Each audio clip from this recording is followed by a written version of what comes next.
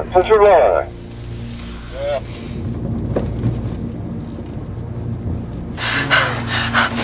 아씨.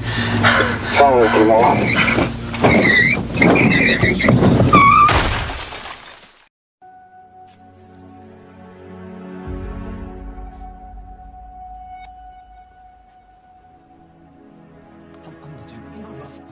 우리 중에 누군가가 함께 졸업하지 못하는 사람이 있는 것처럼.